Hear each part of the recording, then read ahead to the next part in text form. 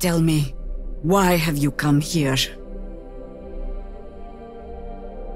You're the same as me. You have a mind flayer tadpole in your brain. Let's try to find a solution together, before it's too late. We haven't much time, so listen closely. There is great potential within you. It comes from that parasite. Your instinct is to resist the power it gives, but you must accept it, nurture it. I will keep it from consuming you, but for the sake of both of us, you must learn to wield it.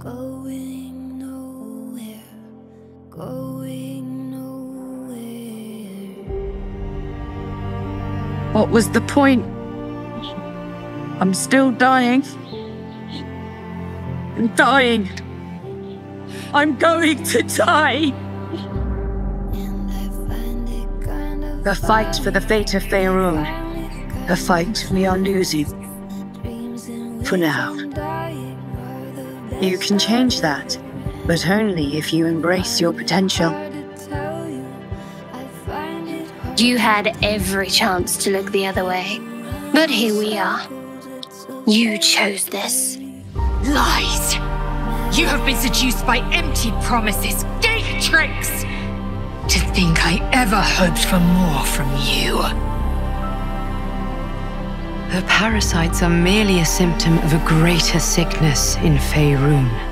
The infected hear the voice of the Absolute and believe it to be a god. The Absolute is more dangerous than you can possibly conceive. It threatens all who live. It threatens the gods. We, the very fabric of the universe itself. How would you feel about helping me kill some evil bastards?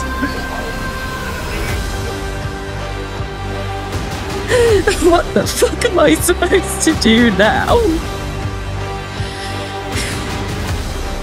We fight, we die, and we just hope that when our time comes, there is someone else to take our place. Together, we might survive. I'll enjoy watching you try. In mere moments, all that you have dreaded will come to pass. When the screaming stops and your mind is gone, the rest is silence.